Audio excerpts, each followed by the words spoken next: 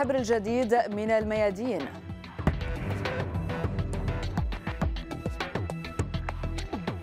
في الصحف والمواقع مقال من فورين بوليسي بعنوان هل ستنقطع العلاقات بين الولايات المتحدة وأوروبا بسبب الصين للكاتب مايكل هيرش. مقال في الفاينانشال تايمز بعنوان التجارة تظهر كأحدث بؤرة لاشتداد التنافس السعودي الإماراتي للكاتب سيميون كير. في صحيفة رأي اليوم مقال لعبد العزيز صالح بن حبتور بعنوان هزيمة الأمريكان في أفغانستان تتبع هزيمة الأعراب في اليمن. في الميادينات مقال بعنوان في مثل هذا اليوم بدأ زمن الانتصارات للكاتب انقول طعمي. كاتب اليوم حسين قطايا نسأله عن تفاصيل مقاله في الميادينات أفغانستان منصة ساخنة في الحرب الباردة. في الحدث هذا اليوم. الخارجية الأمريكية تقول أن عودتها للاتفاق النووي ستجعلها في موقف أفضل إزاء إيران. وجديد اليوم عائلة الأسير الفلسطيني إياد حريبات تناشد المجتمع الدولي والمؤسسات الحقوقية الحفاظ على حياة ابنها. وضيفة اليوم الأكاديمية والباحثة في الشؤون الجيوسياسية سيلين الجريسي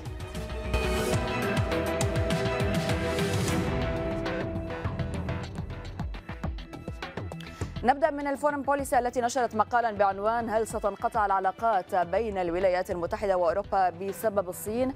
للكاتب مايكل هيرش يقول الكاتب حين يجتمع شخصان شجاعان من هذا الاتحاد الجيوسياسي كمستشارة ألمانيا السابقة أنجيلا ميركل ورئيس الولايات المتحدة جو بايدن سيخيم على الأجواء طابع جديد ومقلق يشير إلى أن العلاقة تتغير وربما إلى الأبد. في الحقيقة يشعر الأمريكيون بإحباط متزايد تجاه أوروبا ويعزى ذلك إلى الأرض الأخيرة الانضمام إلى واشنطن في تحولها الاستراتيجي بعيدا عن موسكو وفي مواجهتها بكين. يصعب على الأوروبيين تجاهل حقيقة أن عدائية بايدن تجاه الصين هي امتداد لنهج ترامب وليست شعورا مؤقتا. وقال أولرش سبيك من صندوق مارشال الألماني في برلين أن ميركل جاءت إلى واشنطن حاملة في جعبتها رسالتين تفيد الأولى. بأن أوروبا لا تريد حربا باردة جديدة. أما الثانية فتعلن عن عدم رغبة أوروبا في قطع العلاقة مع الولايات المتحدة لكنها ترفض الامتثال إلى طلب الأمريكيين في تبني نهج عدائي تجاه الصين. ونجدد الترحيب بضيفتنا سيلين الجيزي وأنت أكاديمية وباحثة في الشؤون الجيوسياسية ورئيسة وحدة العلاقات والتواصل في المعهد العالمي للتجديد العربي وكاتبة سياسية إذا أهلا بك سيدة سيلين وأبدأ مما جاء في الفورن بوليسي هل ستدشن هذا أو هذا اللقاء بين ميركل وبايدن علاقة جديدة أو مرحلة جديدة من العلاقات الأمريكية الأوروبية عامة والأمريكية الألمانية بشكل خاص؟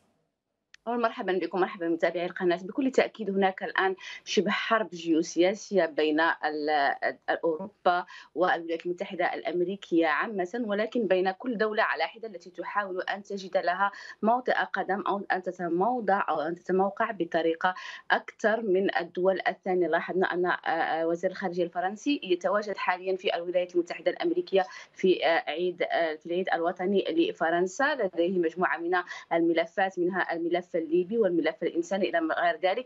إلى غير ذلك سنرى مجموعة من ممكن من التحركات مثل ما تفضلت وذكرتي الرئيس الامريكي الالمانيا عفوا مستشارة. المستشار الألماني عفوا في هنالك. لذا فنلاحظ أن هناك تمت تحركات عامة باسم الاتحاد الأوروبي لكن هناك اتفاقية ثنائية خاصة هناك نقطة مهمة لا يجب تجاهلها هو خروج بريطانيا من البريكزيت والتي تحاول أن تتخذ لها حليفا أو تأخذ حصة الأسد من الاتحاد من أوروبا يعني ما في علاقتها مع الولايات المتحدة الأمريكية. لا ننسى أن كانت هناك نقاط تقاطع أو نقاط نشاز بين الاتحاد الأوروبي وهنا سأتكلم عن فرنسا على وجه التحديد في مجموعة من الملفات. تكون قد اتفقت معها مثلا في الملف السوري لكنها كان هناك مشكل كبير في الملف الليبي والآن يحاولان تقريب وجهات النظر. هناك أيضا تقاطع في في الموقف الفرنسي في مثلا في في إفريقيا أيضا في شرق المتوسط إلى غير ذلك. لذا فمن رأيي هناك قد يكون هناك يعني نوع من التباعد على الأقل في الوقت الحالي لكن لا أظنه سيصل إلى الفراق أو إلى هذا الطلاق الدائم. بالنسبة للعلاقة مع الصين على وجه التحديد الاتحاد الأوروبي قد يكون له مواقف لا مع من من الصين خاصة في ملف حقوق الإنسان في في مجموعة من الملفات. لكن في نفس الوقت الاتحاد الأوروبي قد أبرم مجموعة من الصفقات وفي عز أزمة كورونا سنة 2020 ولا زال يعقدها مع مع مع الصين لأن بالنسبة له الصين هي سوق كبيرة طيب. ولا يمكن أن يتخلى عنها. من الواضح بأن هناك ملفات عديدة سيدة سلين ولكن هل هناك برأيك من ملف ملح يعني أخذته مع ميركل للنقاش فيه مع الرئيس جو بايدن برأيك؟ ليست هناك قد تكون هناك مجموعة من الملفات لكن الملف الملح على الأقل في الوقت الحالي هو الاتفاق النووي الإيراني هذا من جهة. ولهناك أيضا ملف آخر لكن ليس ظاهرا على السطح كما تظهر بقية الملفات مع الاتحاد الأوروبي. وهو موضوع شرق المت... عفوا شرق المتوسط وليبيا على وجه التحديد. فاذا حتى ان كانت فرنسا يعني هي الأظهر أو الأبرز في الساحة الدولية إلا أن ألمانيا تشتغل بطريقة تكون أكثر كياسة. يعني ليست يعني ظاهرة رغم أنها قوة كبيرة في الاتحاد الأوروبي لكن مسألة الشرق المتوسط حتى منطقة الشرق الأوسط عامة هي مناطق تهم تهم ألمانيا والولايات المتحدة الأمريكية وللأسف فرنسا قد سحب من تحت أقدامها البساط يعني في مرحلة من المراحل. ولا تستطيع الرجوع تحاول الرجوع عبر الملف اللبناني وإحنا لاحظنا التحركات حول الملف اللبناني في الأيام الأخيرة لكنها لم لا تستطيع أن يعني أن تثبت أقدامها في هذه المناطق. وبما انك ذكرتي سيدة سيلين مسألة ليبيا يعني الملف الليبي اليوم حاضر في مجلس الأمن ومن الممكن أن يحضر يعني خلال اللقاء، هل ستنجح بالمساعي التي تقوم بها ألمانيا في مخص هذا الملف؟ يعني تلعب دور الوساطه إن صح التعبير التعبير. هل يمكن لها أن تنجح في هذا الملف؟ خصوصا كما قلت بأن الحضور الأبرز هو لفرنسا. هناك مشكل يعني عميق في موضوع الليبي هو أن فرنسا تحاول يعني إذا لاحظنا بطريقة بانورامية أو زومية الوضع في ليبيا وما هي الدول الأكثر تنافسا فيه من أنا اتكلم عن الاتحاد الأوروبي نجد إيطاليا وفرنسا للأسباب التي يعرفها الجميع. لكن فرنسا تحاول قدر الإمكان أن تأخذ السبق في هذا الملف. ورغم المشكل فرنسا لديها مشكل كبير هو أن صورتها سيئة جدا في ليبيا وغير مقبولة على الأقل في المجتمع الليبي الذي يحمل فرنسا مسؤولية الفوضى العارمة التي تعيشها ليبيا في الوقت الحالي. لكن نلاحظ أن فرنسا لا تتنازل ولن تتنازل على الملف الليبي لمجموعة من الأسباب. أولا هي تعتبر ليبيا أو منطقة شمال أفريقيا لنقول هي مربعها التاريخي. ليبيا بالنسبة لها هي يعني مدخل أو صمام أمان بالنسبة لموضوع إفريقيا. ونحن نرى كيف يتم إعادة ترتيب الأوراق في عملية البرخان. يعني وإعادة تموقع أو تموضع صحيح. فرنسا بطريقة أو بأخرى وأن فرنسا قد هددت أنها ستنسحب لكن نجدها ترجع بطريقة ثانية تحت مظلة تاكوبا والتي هي يعني كوموندوز إذا صح التعبير مكلف من النصف فرنسي لكن مجموعة من الدول بسبب التكلفه الغالية هناك أيضا نعم. أن تعتبرها يعني أوروبا أو فرنسا على وجه التحديد هي منطقة غنية جدا. لا ننسى الجانب الاقتصادي وهذا ليس اعتباطيا بغض النظر عن الجانب الأمني عن الجانب الاستراتيجي. وبما أنك اتيتي على الجانب الاقتصادي الجانب الاقتصادي أيضا حاضر في الأحداث المتسارعه في الآونة الأخيرة سيدة سيلين. في صحيفة الفاينانشال تايمز نشرت مقالا بعنوان التجارة تظهر كأحدث بؤرة لاشتداد التنافس السعودي الإماراتي للكاتب سيميون كير. تنذر التجارة بالتحول التحول إلى أحدث بؤرة توتر في المنافسة الاقتصادية والاستراتيجية بين الرياض وأبو ظبي وتهدد أيضا بزيادة التوترات في مجلس التعاون الخليجي الذي يضم ست دول. بعد أن فرضت السعودية رسوما جمركية جديدة على الواردات من بلدانها المجاورة تتراوح قيمة الرسوم التي دخلت حيز التنفيذ هذا الشهر بين 3 و 15% تشارك بل شاركت الرياض وأبو ظبي الأهداف الإقليمية لسنوات وتعاونتا في محاولة احتواء الإسلاموية وتدخلتا بصورة مشتركة في صراع اليمن في العام 2015 وشرعتا في فرض حصار على قطر عام 2017 لكن حده التوترات تصاعدت منذ إعلان الإمارات العربية المتحدة سحب قواتها المسلحة من اليمن في العام 2019 ورفض أبو ظبي في اجتماع لمنظمة أوبك هذا الشهر الموافقة على زيادة الإنتاج النفطي الذي سعت إليه الرياض وموسكو ووافق عليه أعضاء التكتل الآخرين وبهذا المقال ومضمون أعود إليك سيدة سلين هل انتهى شهر العسل الذي كنا نراه بين الرياض وأبو ظبي برأيك؟ أنا لا أظن أن شهر العسل قد انتهى لكن أظن أن آه، الحب وهذه المودة وهو في نشاز صحيح هناك مجموعة من آه، الاختلاف في وجهات النظر لكن كان دائما هناك تكذيب لهذه الفرضية ودائما هناك آه، فرقعات إعلامية بأن مثل ما تفضلت هو شهر عسل يدوم لكن كان هناك توافق استراتيجي في المنطقة أو نقول توافق سياسي لكن في في في فرح مرحلة ما ظهرت إلى العيان أن هناك نشاز. أنا دائما كنت أرى أن هناك نوع من النشاز هو أكثر ما أظهره هو الموضوع اليمن حينما نجد أن آه، هناك شبه حرب إذا صح التعبير صحيح. بين آه، الشرعية التي تدعمها السعودية والمجلس الانتقالي الذي تدعمه الإمارات حتى أن الطائرة الرئاسية رفض لها أن تنزل في عدن الذي يوجد آه، بالتوافق تحت يعني أو تحت موافقة الرياض. لا لا لا آه، المجلس الانتقالي جماعة الإمارات. فتم رفض الطائرة الرئاسية التي تدعمها آه، الشرعية التي يدعمها الرياض. هناك أيضا مجموعة من المشاكل في مجموعة من النقاط. لكن عندما تظهر المصالح الاقتصادية آه، يعني تختفي الحب. يعني فالجانب الاقتصادي قد طغى على الجانب الصداقي إذا صح التعبير في هذه النقطة. بالإضافة إلى أن القشه التي قسمت ظهر البعير كان مسألة الاوبك لأن بلاس لأن الإمارات ترى أن هناك مع جائحة كورونا هي ملف الأوبك بلس أم دخول الرياض على مسألة الخدمات والسياحة وهذا الانفتاح الحاصل؟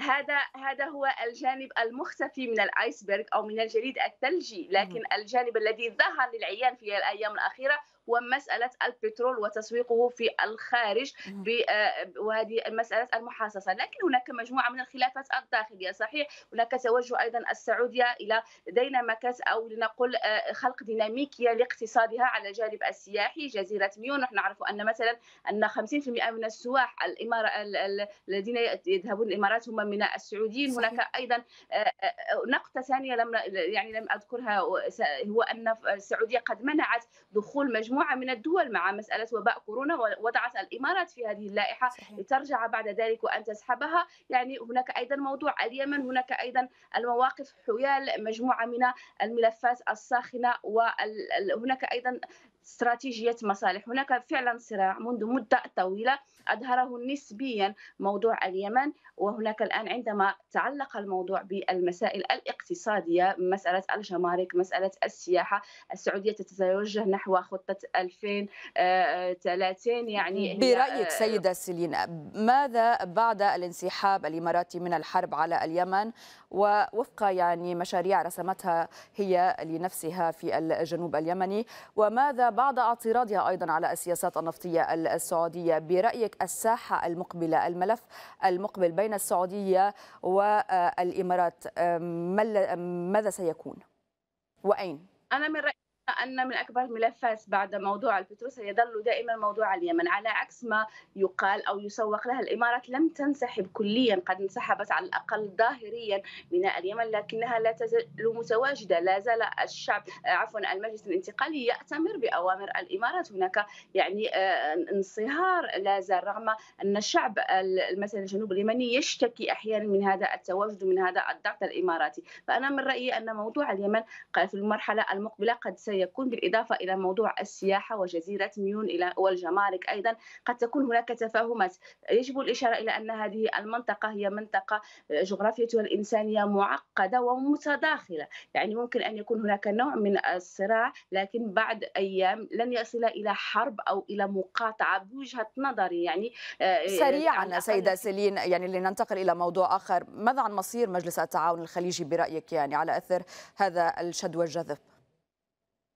أنا من رأيي أن مجلس التعاون الخليجي مثل الجامعة العربية مثل مجموعة من المؤسسات يعني هي غير مفعلة بالطريقة التي يجب عليها أن تكون مفعلة. وأنا من رأيي سيكون هناك تدخل مع مجموعة من الجهات. هناك نقطة نسيتها أيضا هو التقارب السعودي مع قطر الذي انزعج منه انزعجت منه الإمارات. صحيح. هناك أيضا استضافة قناة عربية وقناة سعودية لخالد مشعل من الإخوان المسلمين الذي طيب. يعد الفزاع الأكثر للإمارات. لأن أظن أن ستتم هناك تصالحات وتدخل. يعني هناك أيضا آه، يعني آه، عقلية القبيلة وعقلية التقارب وستتم حلحله الموضوع على الأقل في الوقت الحالي لأن المنطقة لا تحتاج مزيدا من الضغط. سنبقى في المنطقة سيدة آه، سيلين. مع مقال في صحيفة الرأي اليوم الإلكترونية مقال بعنوان هزيمة الأمريكان في أفغانستان تتبع هزيمة الأعراب في اليمن لعبد العزيز صالح بن حبتور يقول الكاتب اعتمدت أمريكا على جيش من العملاء والجواسيس والمرتزقة تحت يافطة أنهم مترجمين وخبراء واليوم تبحث لهم عن مأوى في عجل خارج أفغانستان. أما السعودية والإمارات فقد عمل معها جيوشا من اللصوص والفاسدين والمجرمين تحت مسمى حكومة شرعية ومجلس انتقالي تعيش معظم قياداتها في الفنادق والمنتجعات الفارهة والفخمة. في مدن الرياض وأبو ظبي ودبي. في الوقت الذي تنهزم فيه القوات الأمريكية في أفغانستان ينتصر محور حلف المقاومة في فلسطين. وفي اليمن العظيم حقق اليمنيون مع حلف المقاومة انتصارات عسكرية نوعية على السعودية ومن خلفها أمريكا والحركة الصهيونية وحلف الناتو العدوانيه. وهذه تبشير نصر الشعوب المقهورة على قوى الاستكبار الصهيوني. وأعود إليك أيضا آه، سيدة سيلين إلى أي حد الانسحاب الأمريكي في أفغانستان فعلا يشبه الانسحاب والهزيمة الأمريكية في فيتنام بداية قبل الذهاب إلى اليمن؟ أنا أظن أن قد تكون هناك مقاربة يعني إحنا نحن الآن في مرحلة كل الدول لم تعد تتحمل أن تظل. هناك تكلفة تكلفة مادية وتكلفة إنسانية كبيرة لهذه الدول التي تتغول لنقول في هذه المناطق لتجد نفسها في مستنقعات. هناك أهداف تضعها هذه الدول على المدى القصير على المدى المتوسط وعلى المدى البعيد. وعندما تتحقق هذه الأهداف أو جلها تنسحب هذه الدول أيضا عندما لا تتحقق. وهنا قد نرى مثلا عملية البلخان التي تقودها فرنسا في إفريقيا أو في دول الساحل. لذا فالمقاربة هي مقاربة يعني عملية إذا صح التعبير. أمريكا كان لها دور وانسحبت لأنها لا تريد مزيدا من الخسائر. المشكلة في هذه الدول عندما يعني تشغل أو تعتمد على أشخاص هؤلاء الأشخاص مصائرهم دائما تكون سيئة جدا سواء الموت سواء القتل أو السجن إلى غير ذلك. لذا فأظن أن أفغانستان هناك نوع من الهروب منها ك... لأنها لم تعد لن أقول لا أقول أنها لم تعد مهمة لهذه الدول لكن الهدف الأكبر نحن نعرف عندما تدخل هذه الدول لا تدخل دائما بطريقة واضحة للعيان أو بدباباتها هناك المعلوماتيات أو الجانب الاستخباراتي الذي عندما تتمكن منه دولة ما عندما تعتمد على أشخاص ما فهي قد تبسط بطريقة ولم يكن ولا يعود لوجودها على الأقل ظاهريا أي سبب. فهي تشتغل من وراء الستار. فحتى وإن قلنا أن الولايات المتحدة الأمريكية قد انسحبت لكنها تشتغل دائما وراء الستار عبر عملائها في المنطقة. وهناك من يقول بأن هناك أيضا إعادة تموضع في المنطقة تحديدا في غرب آسيا يعني في الجوار الأفغاني. وأنطلق أيضا من فحوى المقال الذي يعني قرأته سيدة سيلين لأسألك هل هناك فعلا من تشابه بين الحرب على أفغانستان والحرب على اليمن من ناحية الخلفيات التي انطلقت منها هذه الحروب ولناحية الوسائل المعتمدة خلالها؟ برأيك؟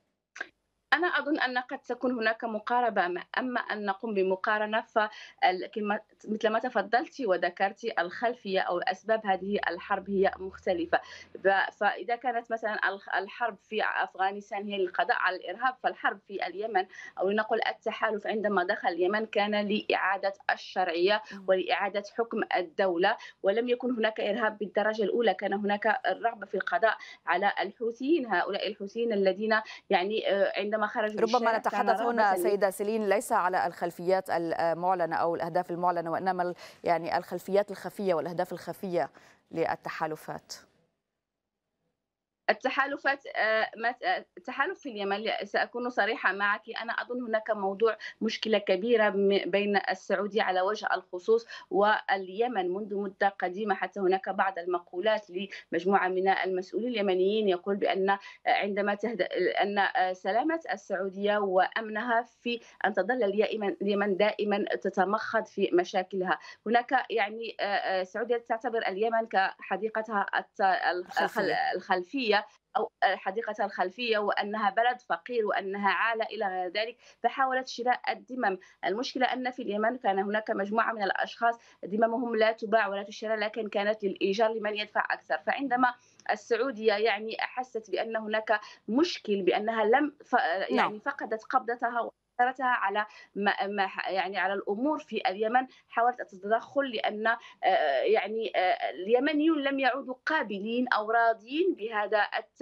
يعني آه، بهذا التعنت السعودي في المنطقة بمجرد نعم. أنها تساعد ببعض يعني الأموال السعودية لبعض المرتشين في اليمن. فعندما خرج الشعب اليمني آه، في مرحلة من المراحل لم تستسغ السعودية ذلك وتدخلت المشكلة أنها لم تدرس عاقبة الموضوع. لا تعرف أن الجغرافيا الإنسانية والجغرافيا الطبيعية ليست بتلك السهولة. كان في البداية يقولون بأن أسبوع أو أسبوعين ستكفي لإعادة الأمور إلى نصابها. مع أنه آه، قراءة التاريخ يعني آه، تقول عكس ذلك سيدة سرين في اليمن وفي أفغانستان. اسمحي لي يعني أن ننتقل إلى فقرة أخرى وهي فقرة كاتب اليوم. نسأل حسين قطايا عن تفاصيل مقاله في الميادين أفغانستان منصة ساخنة في الحرب الباردة. أفغانستان منصة ساخنة في الحرب الباردة. حسين قطايا الميادين نت.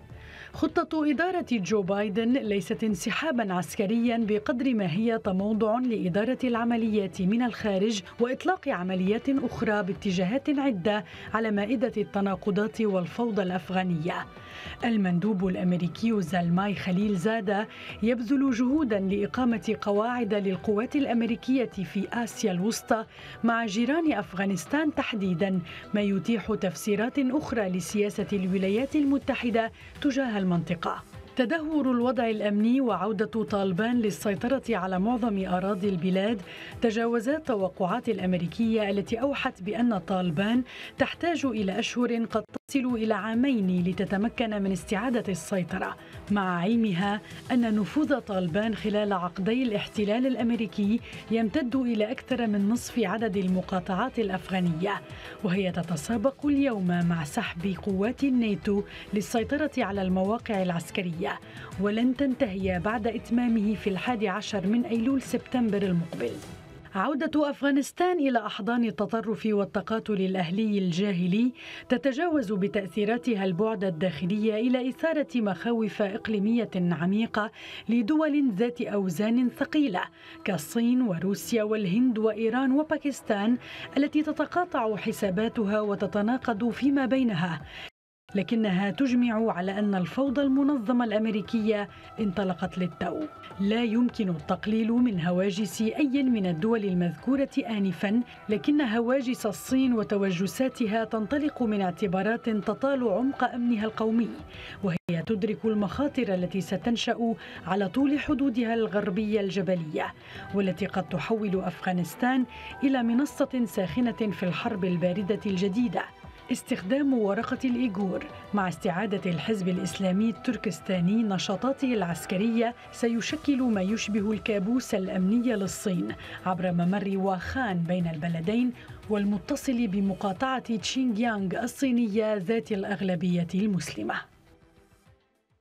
وينضم إلينا حسين حسين قطايا كاتب اليوم. أهلا بك حسين ونسأل عن يعني مضمون نعم. المقال الذي كتبته. أكثر من مسؤول أمريكي أشار إلى سعي واشنطن لإقامة قواعد للقوات الأمريكية المنسحبه من أفغانستان في دول آسيا آه، الوسطى. أي من الدول المجاورة لأفغانستان هي قابلة لهكذا مشروع؟ وعلى أي اعتبارات؟ ممكن آه، يعطيك العافية اولا تحياتي لك وجميع المشاهدين. آه، من من الممكن جدا أن تركمانستان تفوت أن تدخل بهذا المشروع لكن هناك تحذيرات روسية وصينية كبيرة وحتى إيرانية وحتى باكستانية. باكستان وإيران وروسيا والصين وهذه الهند إلى حد ما موقفها آه، أقرب إلى الولايات المتحدة من باكستان والدول التي ذكرتها. آه، لن تسمح بعودة أو إقامة قواعد أمريكية في المنطقة. هذا اطال الأمن الاستراتيجي الروسي، الأمن الاستراتيجي الصيني، الأمن الاستراتيجي الإيراني، الأمن الاستراتيجي الباكستاني، لذلك آه، آه، لن هذا الطموح الأمريكي هذا هذا يدل على إشارة واضحة ذكرت أن هذا ليس انسحابا هذا سحب للقوات أو إعادة تموضع خارج خارج أفغانستان لإدارة الحرب أو لإدارة الأزمة. الأزمة الماضية والأزمة والأزمة التي ستنشأ أو الأزمات التي ستنشأ عن هذا الانسحاب الموقف الصيني الموقف الموقف الصيني آه، ناهض الوجود الأمريكي تاريخيا على على حدوده الغربية. لكن استفاد من هذا الوجود لضبط آه، العمليات الإرهابية وضبط التنظيمات الإرهابية. مع أن العمل يعني طالبان خرجت من السلطة لكنها لم تخرج من أفغانستان. آه، طالبان آه، خلال الوجود الأمريكي تسيطر على أكثر من 20 مقاطعة في أفغانستان من أصل 34 يعني آه، هي اليوم شبه تسيطر على معظم أفغانستان ما عدا رقعة الانتشار تتسع أكثر فأكثر. نعم. لو سمحت نعم أبقى نعم. معي حسين قطاي. أذهب إليك مجددا سيدة سيلين. يقول حسين يعني في مقالة بأن هناك فوضى أمريكية منظمة انطلقت في شرق في آسيا الوسطى. يعني هل توافقين الرأي؟ وهل ستكون منظمة هذا الفوضى أم أنها ستخرج عن السيطرة؟ سيطره جميع الأطراف دون استثناء.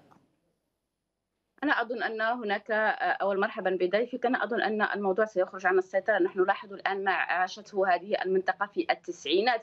فطالبان كان هذه نلاحظ نفس التكتيك أو نفس الاستراتيجية إذا صح التعبير في سيطرتها على المدن وعلى الأرياف هي دائما في هذا البحث عن الاعتراف الدولي. لاحظنا حتى أنها قد يعني ذهبت إلى باكستان وسيطرت على منطقة يعني استراتيجية مهمة. ولاحظنا أن هناك دول من المجتمع الدولي مثل بريطانيا التي صرحت أنها مستعدة مستعده للتعاون وللتفاعل معها لتحاول أن لا يؤدى أو لا يتم إداية الشعب الأفغاني. لذا فأظن أن على الأقل في الوقت الحالي الموضوع هو خارج السيطرة بدليل أن مجموعة من الدول تتهافت لتهدئة الوضع لكي لا تحصل هناك مجزرة في الوقت الحالي.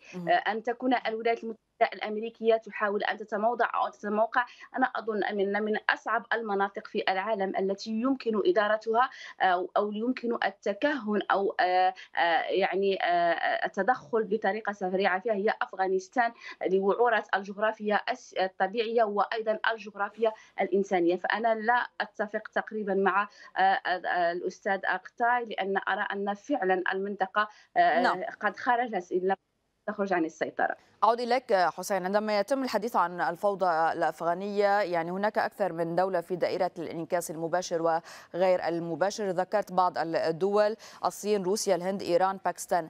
أي منها أي من هذه الدول بالتحديد تتحسس الخطر الأكبر عليها؟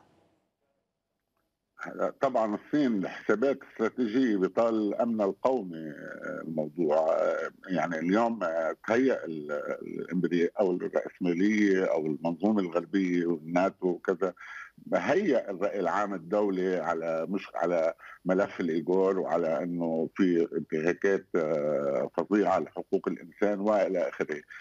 بغض هذا الموضوع ممكن أن يستغل اثنين في جماعات آه، تركمانستانية موجودة على الحدود أحزاب وقوى عندها عندها سلاح وعندها قوات مسلحة ممكن أن آه، تستخدم هذا هذا المعبر لإثارة قلاقل بالصين مش بس الصين يعني ممكن أن تتحول أفغانستان مجددا إلى بؤرة.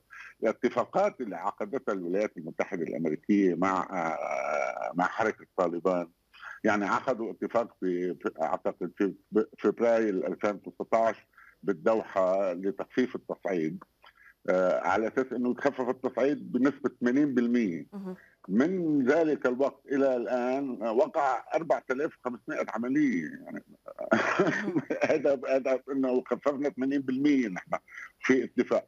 ما فيك أنت مع الجماعات المتطرفة تعملي اتفاق وتقولي هذا الاتفاق سوف يستمر. صحيح. يعني نعم. مستحيل. التطرف دائما بده يرجع ياخده على على مكان آخر. نحن عم نقول إنه يعني نزعم إنه قد تتحول أفغانستان إلى بؤرة، الهند اليوم يعني عند عند أزمة كبيرة. إذا هذا الموضوع اتخذ كمثل يعني طرد القوات طردت أمريكا من من أفغانستان لا شك. لكن عم تحاول استغلال خسائرها. ما هذه هي يعني الرأسمالية عم تحاول أو المنظومة الغربية تحاول نعم. التحايل على التاريخ بشكل دائم. وعلى بالسياسة. يعني صحيح. إنه نحن نطلع من هون من مندير الحرب من برا ومندير مجموعة مشاكل. يعني الولايات المتحدة وهذا ما يحصل في أكثر من دولة وأكثر من بقعة جغرافية. حسين ثلاثة عقود الولايات. نعم. شكرا جزيلا لك ولكن انتهى الوقت المخصص لهذا الفقرة. شكرا جزيلا لك حسين قطايا وسوف تبقين معنا سيدة سلين بالتأكيد. في الصفحة الرئيسية للميادين يمكنكم قراءة أخبار فلسطين والعراق وغيرها من ملفات المنطقة والعالم كما يمكنكم قراءة أخبار ومقالات في السياسة والاقتصاد والثقافة وغيرها.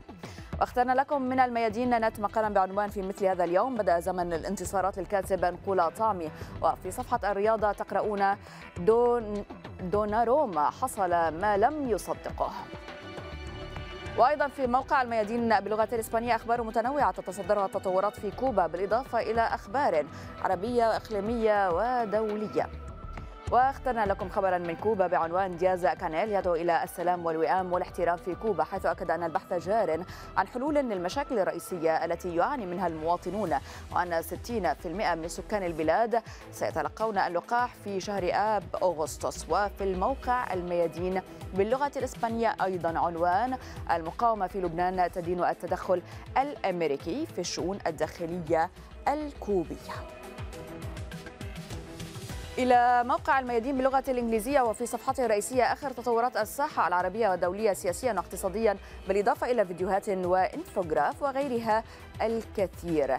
واخترنا لكم مقال الكاتب تيم أندرسون بعنوان أستراليا تتجه نحو عدوان غير مبرر على لبنان حيث يقول الكاتب أنه بدفع من اللوبي الإسرائيلي تتحرك الحكومة الأسترالية بثبات نحو إدراج حزب الله في قائمة المنظمات الإرهابية.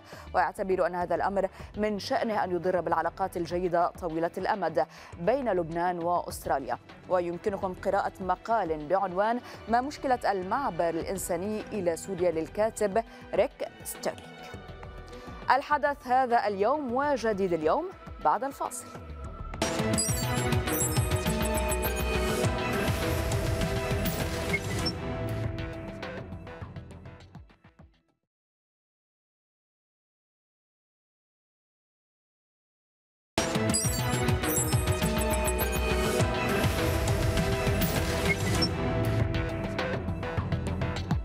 بكم من جديد مشاهدينا الكرام واجد الترحيب بضيفتنا سيلين جيزي.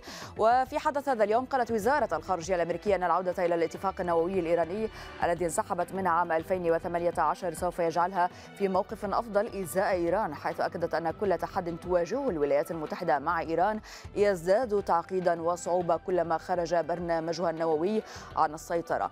من جهة أخرى نقلت وكالة رويترز عن مصدر دبلوماسي أن طهران أبلغت الوسطاء الأوروبيين رسالة إلى واشنطن مفادها أنها غير مستعدة لاستئناف مفاوضات فيينا قبل نقل السلطة للرئيس المنتخب.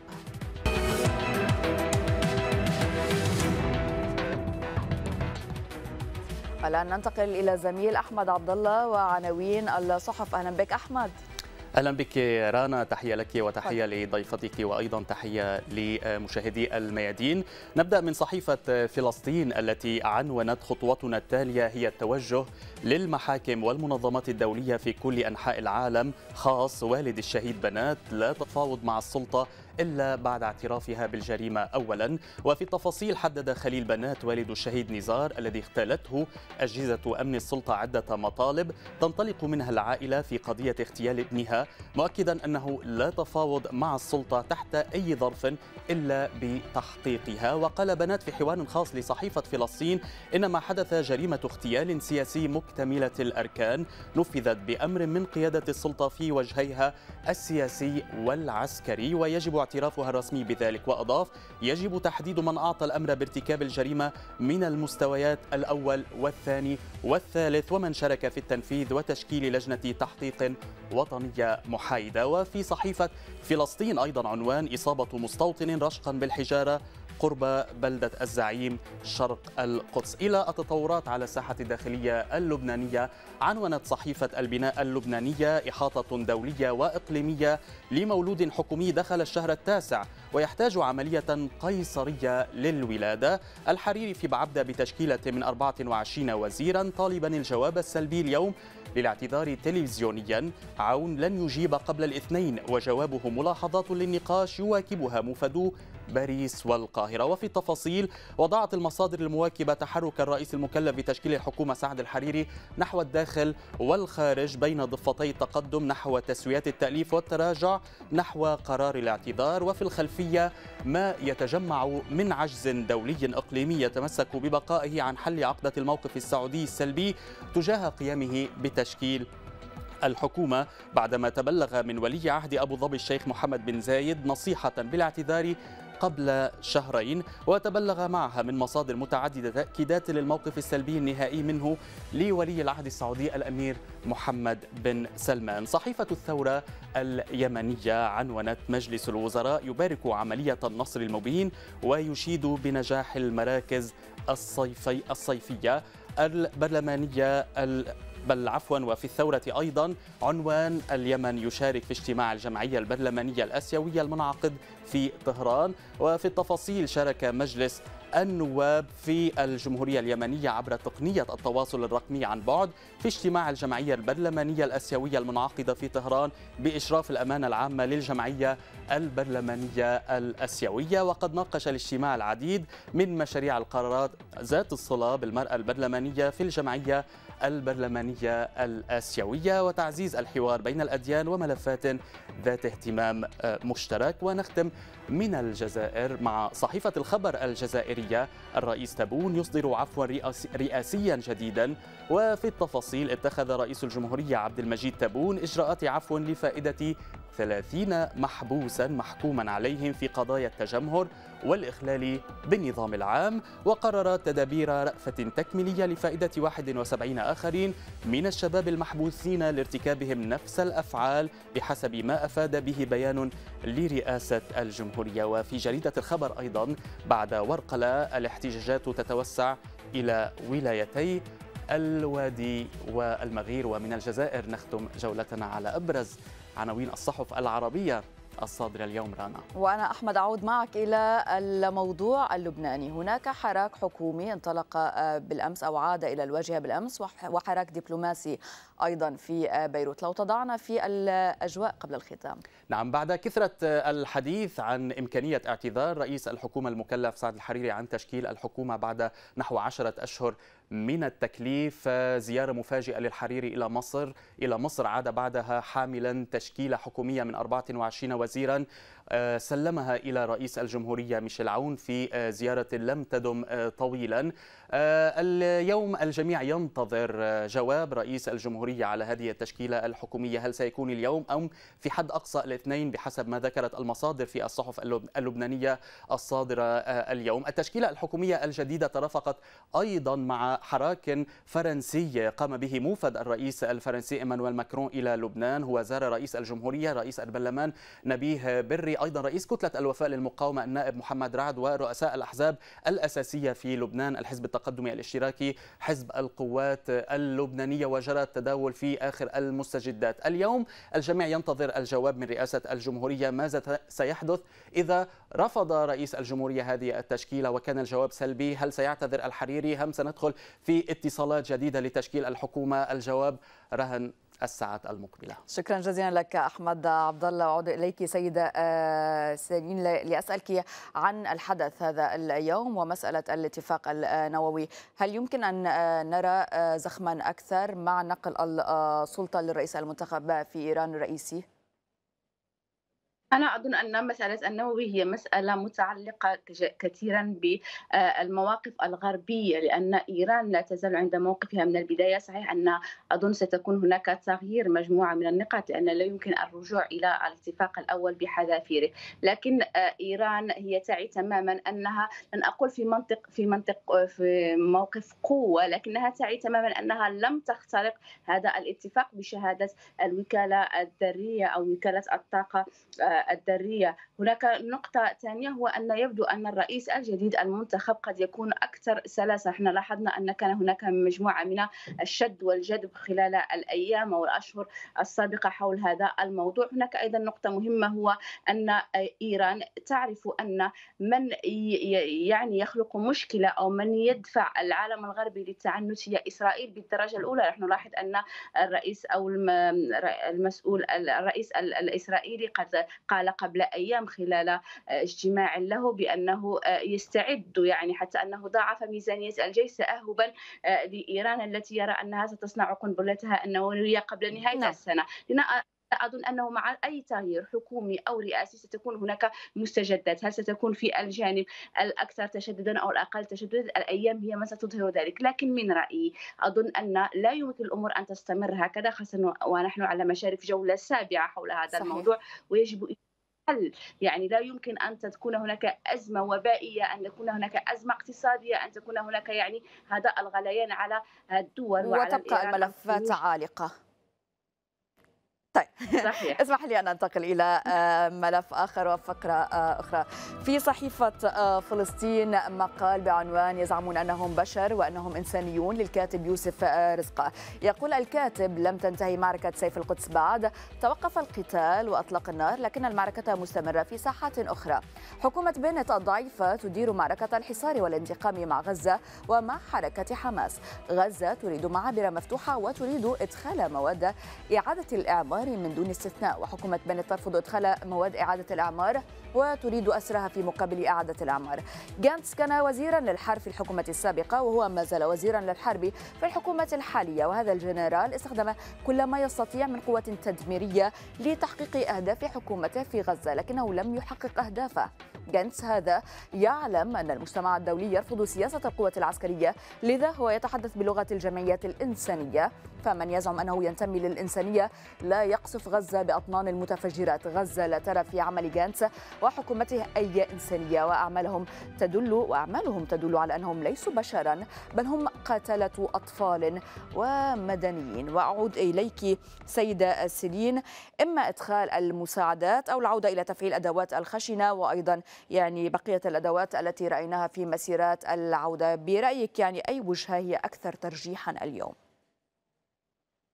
أنا أظن أن آه، أكثر ترجيحا هو تقديم المساعدات وإعادة إعمار البلد. لا يمكن أن يز... هناك ضغط كبير من المجتمع الخارجي. صحيح أن هناك صمت رهيب في نفس الوقت. للأسف حيال الأزمة أو هذا المش... يعني ال... ال... هذا الحرب هذه الإبادة. أنا بالنسبة لي هذه إبادة جماعية تستمر منذ سنوات لكن هناك رغبة حثيثة حتى أن إسرائيل قد تلقت مجموعة. لن أقول من ال... كان هناك خطاب قوي من الغرب حتى من فرنسا و حتى من جو بايدن. وهذا ما يخيف إسرائيل أنها ستجد نفسها وحيدة. هي لن تجد نفسها وحيدة بكل تأكيد. هي إسرائيل صنعت لزعزعة نعم. المنطقة و تستعمل لزعزعة المنطقة. لكن هناك آه، نحن نعرف أن فلسطين الآن تدخل على موجتها الرابعة في أزمة كورونا جائحة كورونا. الوضع سيء جدا. لذا فأظن أن العالم مثلما مثلما يعني صمد ومثلما خرج للشوارع في مسألة الشيخ جراح لدعم الفلسطينيين تكون هناك أيضا مبادرة لأن لا يمكن أن يستمر الوضع على كل. هناك يعني طيب. تغطية إعلامية كبيرة للوضع و تفضلي نعم آه، فقط لضيق الوقت يعني آه، سوف نمرر آه، مقالا آخر وأسألك عن سيدة سنين صحيفة إذاعة أحلامات نشرت مقالا بعنوان أردوغان يغازل إسرائيل تكشف الصحيفة عن أن الرئيس التركي رجب طيب أردوغان ومحيطه القريب بعث برسائل لإسرائيل مفاد وأن تركيا مهتمة بترميم علاقاتها مع إسرائيل وتقترح أن تكون وسيطة بين تل أبيب وحماس من أجل الدفع بقضية الأسرى والمفقودين. هذه الرسائل نقلها السفير التركي في الولايات المتحدة مراد مرجان الذي يعتبر أحد أقرب الأشخاص مخصص من أردوغان. إحدى أولى المحادثات التي أجراها مرجان بعد وصوله إلى واشنطن كانت مع الحاخام مارك شناير وهو حاخام أمريكي مشهور يرأس صندوق التفاهم بين اليهودية والإسلام وفي السنوات الخمسة عشرة الأخيرة كان يدخل ويخرج من قصور السعودية عمان البحرين قطر والإمارات. وبهذا المقال أعود إليك أيضا سيدة سلين رغم المعادلات التي فرضت بعد عملية سيف القدس نرى بعض دول المنطقة وبدل من أن يعني تعيد حساباتها تذهب أكثر باتجاه إسرائيل. تركيا رئيسها قام بالاتصال برئيس الكيان الاحتلال لترميم العلاقات لإعادة الدفء لهذه العلاقات. الإمارات افتتحت سفارتها بالأمس في هذا الكيان. كيف يمكن فهم هاتين الخطوتين؟ يعني من دولتين هما على نقيض أيديولوجي طرفي نقيض أيديولوجي. لا يمكن أن يفهم أي شيء في هذا الموضوع ما عدا أن هنا لغة المصالح تغلب أو تتعدى لغة اللغة الإنسانية أو اللغة يعني الاجتماعية أو هذا النوع من التآزر الذي يجب أن يكون لدولة لفلسطين عفوا. يعني هناك مصالح اقتصادية هذه الدول عامة وهنا سأرجع إلى تركيا. تركيا تحاول أن تغازل مجموعة من الدول ليس فقط إسرائيل. نلاحظ أن هناك محاوله الصلح والتقرب أو التقارب الفرنسي التركي وأيضا التقارب مع مصر. بعدما كان الرئيس التركي يكيل الاتهامات ويتهم رؤساء الدول واتهم ماكرون بأنه مريض. اتهم السيسي بأنه مجنون وبأنه جزار وبأنه مجرم. حرب كل هذه الأشياء تركيا أعادت ترتيب يعني حساباتها. هي تمر بأزمة اقتصادية خانقة الليرة التركية في أسوأ حالتها منذ مدة.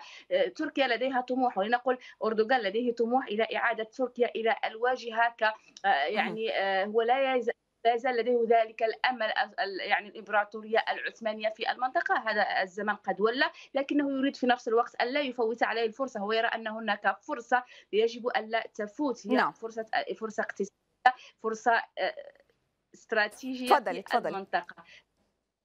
فرصة استراتيجية في المنطقة فهو يحاول أن يقوم بتحركات عديدة وكبيرة. هناك أيضا خسارة مادية لأنه تواجد في ليبيا لوحده يعني بعد رفض الجميع له في هذه المنطقة لذا فهو قد فهم أو يعني في مخيلته أن من سيساعده أن يخرجه من هذا الوضع هو أن يتضامن مع إسرائيل. أكون واضحة في هذه النقطة. أغلب الدول التي تضامنت التي طبعت مع إسرائيل هي كانت تتعامل في السر. نقول أن مثلما تكون شخصان في فترة تعارف وفترة خطوبة فيعلنان الزواج. هذا ما حصل يعني بكل بساطة وما سيحصل. اسمح لي أن أورد هذا الفقرة الأخيرة في فقرة جديدة اليوم أيضا. جديد اليوم نشدت عائلة الأسير الفلسطيني إياد حريبات المجتمع الدولي والمؤسسات الحقوقية والإنسانية الدولية والمحلية الحفاظ على حياة ابنها بإبقائه في مستشفى الإسرائيلي بعدما تدهورت حالته الصحية إلى درجة أنه قد يستشهد في أي لحظة. العائلة أعلنت في مناشدة عن انطلاق حملة إلكترونية لدعم الأسير إياد حريبات تحت عنوان أنقذوا إياد حريبات. لا أدري إن كان لديك تعليق سريع سيدة سيلين. أنا أظن أن موضوع الأسرة عامة وموضوع إياد حريبات هو موضوع مزعج للغاية ومؤرق ل يعني هو نوع هو يهدد يهدد يعني الجانب الإنساني في المنطقة. وأظن أن الموضوع سيتم الضغط لأن قد تم وضع مجموعة من التدابير حول هذا الموضوع حتى أن كان هناك يوم يوم الأسير حريبات الذي تم التسويق له أو تم القيام به حتى من فرنسا. لاحظنا مجموعة من الدول عفوا من الشعوب قد نهضت لهذا الموضوع. وأتمنى نتمنى أن يكون هناك تدخل عاجل. يعني لا نريد أن نخذل مرة أخرى في الدبلوماسية الناعمة أو مفاوضات حول هذا الموضوع.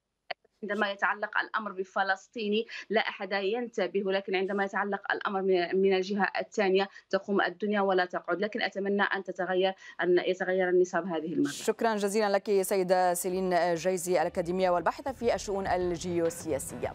الشكر لكم مشاهدينا على المتابعة. بالحبر الجديد انتهى.